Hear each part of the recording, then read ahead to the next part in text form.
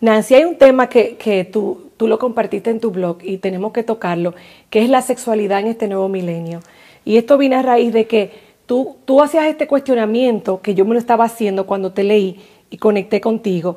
¿Cómo pueden las mujeres expresar y desarrollar todo su potencial, su potencial sexual de lo que estábamos hablando con este tipo de crianza y las reglas que se nos imponen? Claro.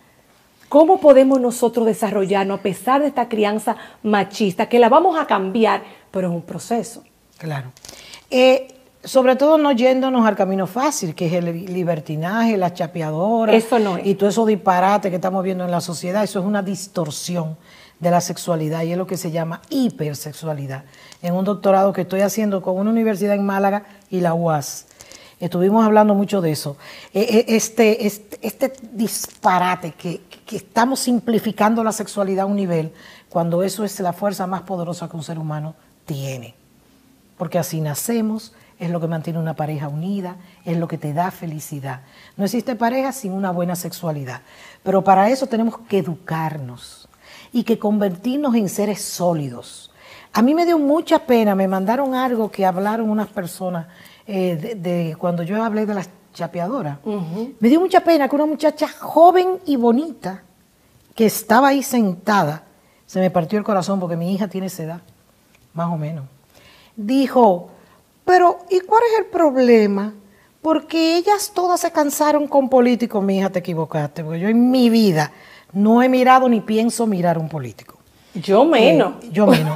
y ellas todas buscaron hombres ricos como el doctor Scooping. Equivocada también. ¿Cuántos porque... años pasó Nancy para encontrar el verdadero amor en su madurez? Y, y yo me casé, me casé, con Scooping no por dinero, porque tampoco no tiene mucho como la gente cree. Nancy, Nancy, sino vale porque me enamoré de él. Y si no, no estuviera con él. Y el día que no me, no me siento enamorada del babay, porque ¿qué vamos a hacer? Él tiene derecho a ser feliz, yo también, ¿verdad? Claro. Entonces, realmente usted tiene que ser un ser sólido, usted tiene que trabajarse, usted tiene que sentirse orgullosa de sí misma, estudiar, trabajar, aportar, porque la vida de una persona que vive de otro, al que usted le presta su cuerpo, es muy triste. Entonces hay que educar a las mujeres a que se amen, se respeten. Y hemos trabajado mucho tú joven, pero yo tengo más de 30 años trabajando en pero eso. Pero vamos a seguir, Nancy. No y tenemos que seguir, pero no olvidemos educar a los hombres. No existe nada en el mundo más maravilloso y que dé más felicidad que la pareja. Y cuando la perdemos es el dolor más grande que podemos tener. Pero la pareja es un lugar de conflictos para crecer. Si crecemos, tendremos momentos de felicidad.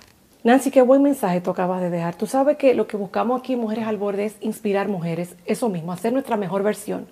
Si la mujer está estable emocionalmente, entonces es mejor pareja, es mejor madre, es mejor claro. ente social y de una manera contribuye a que esta sociedad nuestra, que está caótica y tú lo sabes, podamos como que resurgir. Claro que sí, es una gran responsabilidad. Nosotros vinimos al mundo a aprender y tenemos la responsabilidad de dejar un legado en las personas que amamos.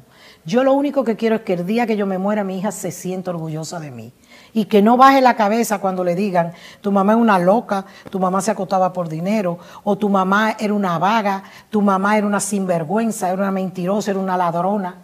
No, yo quiero que como yo me siento orgullosa de mi mamá y de mi papá, mi hija se sienta orgullosa de mí, porque eso es lo único que nos da salud mental.